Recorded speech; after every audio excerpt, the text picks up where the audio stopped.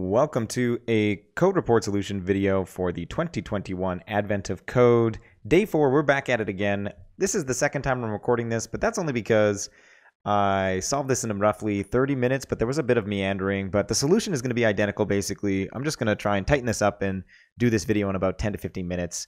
It's a lot of fun, especially in an array language like APL. And with that, let's just hop into the problem description. So we're going to be playing bingo today. We're going to give be given a sequence of calls, and we're going to be given a number of uh, bingo boards. And basically, what we need to do is based on these series of calls that we're going to get, we need to identify what is the winning board. What's the first board to either get a row of values all marked or a column of values all marked.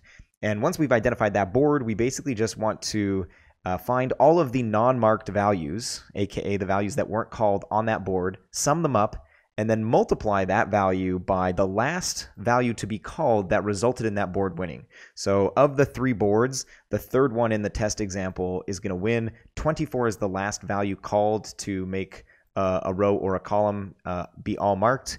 And then if we multiply that by the sum of all the ones that aren't sort of lit up here, 10, 16, 15, etc., we're going to get 45, 12. And problem B is very similar. Uh, so we're going to do that very quickly after we do the first part or part A. So let's hop over to RIDE and start parsing this problem. So we have our data loaded from our data file um, from the test data. We click data here. You can see that the first um, element in this sort of nested list here is the calls. So we can quickly parse this. It's uh, comma separated. So we want to do our comma uh, split, which is going to be not equals partition identity. I've explained this in prior Advent of codes. It's just a fork that basically splits our data. If we do this, we're going to get a nested list of numbers, and then all we need to do is execute for each of these numbers, which is basically going to turn the string into a value, uh, a numeric value. And so if we do this, we can call C, which is going to be basically calls, and if we do, you know, tally C, tally C, we got 27 values here. And you can see that if we do a 3, 9, reshape on C. That 24 is sort of, uh, you know, the 10th or 11th value to be called, or is that the 12th? Um, that's going to result in our winning board. So next thing we need to do, if we go look at data again, we can now uh, drop, do a one drop, so get rid of the first element. And we've now got basically all of the data that represent the three different boards. So if we split this, it'll show us we've got sort of the three boards here, but this is all in string format. So we need to convert this to values. Uh, there's probably a number of ways to do this. The way that I'm going to do it is by um, doing a space delimited split. So similar to the comma delimited split that we just did there. So we're binding the space uh, to the, you know, uh, not equals partition identity, and we're going to do that over our values uh, to get now um, our string split into the numbers.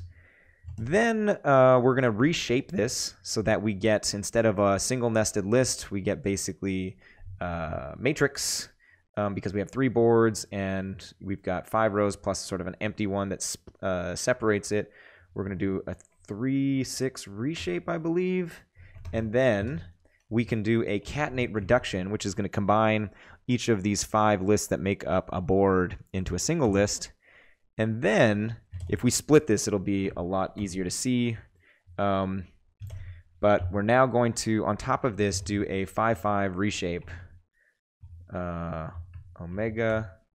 And now from here, I think all we need to do is an execute over each of these numbers. And boom, we've got our boards 5 by 5 in a nested list. We will call this B uh, for boards. Comment at the end. And also, too, let's call um, let's call x. Uh, so if we choose the third from B, it's going to be sort of the winning board. So actually, maybe we'll go with W. Um, and just so that while we're building up how to check if this is the winning board, we're going to uh, use just a single board, and then we'll iterate over each of the boards, um, you know, for our final solution. So we've got our calls, we've got our boards, and we're going to just work on our single board here.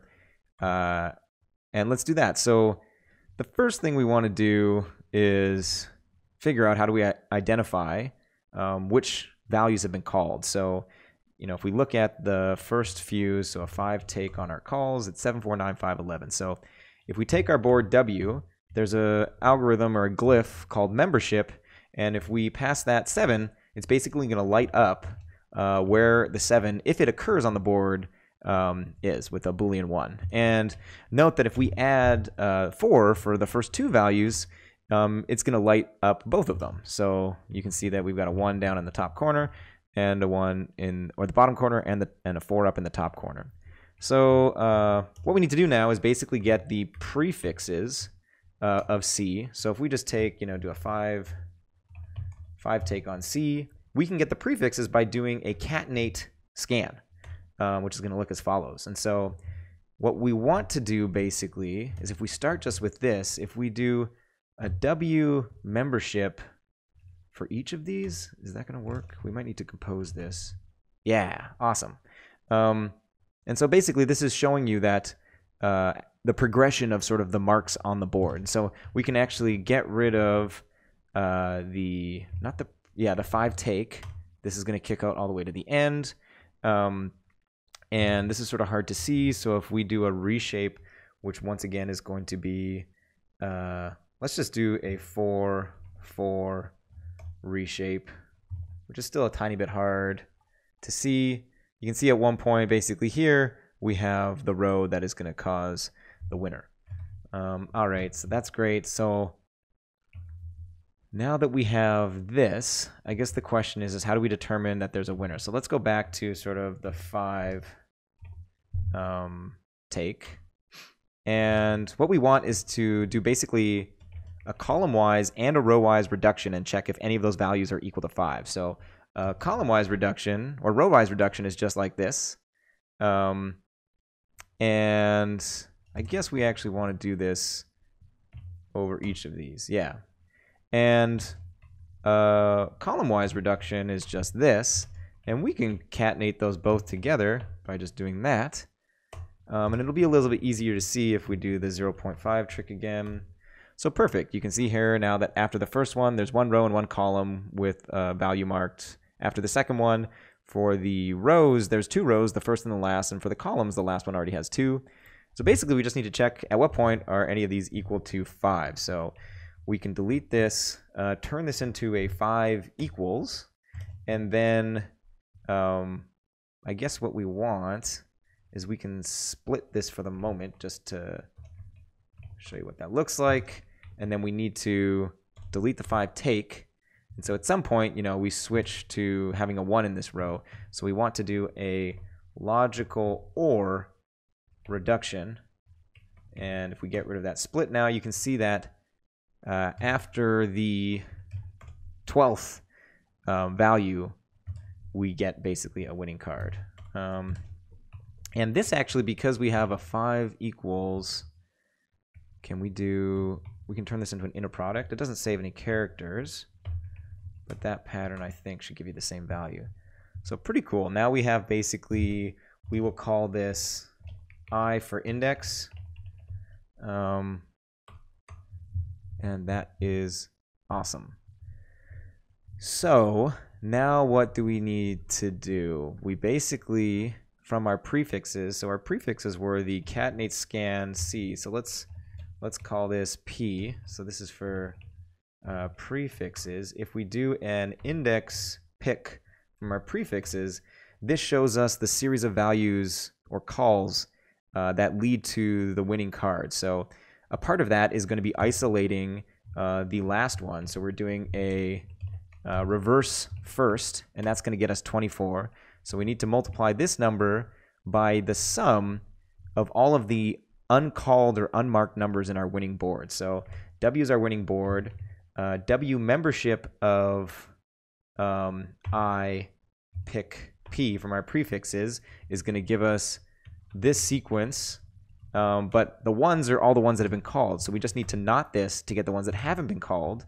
And then if we just do a multiplication by our original board, it's going to zero out all the values that have been called. And then we can ravel and do a plus reduction, aka a sum, to get our values. And so I believe 188 times uh, 24 is going to give us 4512, which is exactly what we want. So um, I guess we can sort of do that and um, I should I should I factor that out? And then we want this. So does that give us the answer? Yeah so that's our that is sort of our our answer. So let me skip ahead. I'll put this in a function and we'll see what it sort of looks like all right so we've put this in a function I think this should work if we go uh, actually it's just gonna yeah, we need to unhard code these. So we put, you know, alpha equals calls, omega equals board. And then we replace C with alpha. I guess this is actually supposed to be P. Um, and then W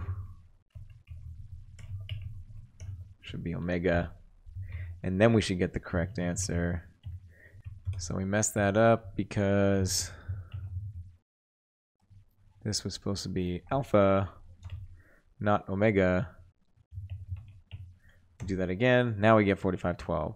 So really what we want is to change this to B, iterate over, and bind this together and that should give us this. And so now the way to actually solve this is we want to modify this slightly such that what is our last value? Well, so really what we want to do is we want to prefix this with the index and then sort.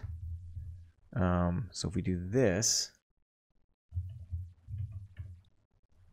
um, yeah, now what we can do is we can do a sort, which they don't have a primitive for. Uh,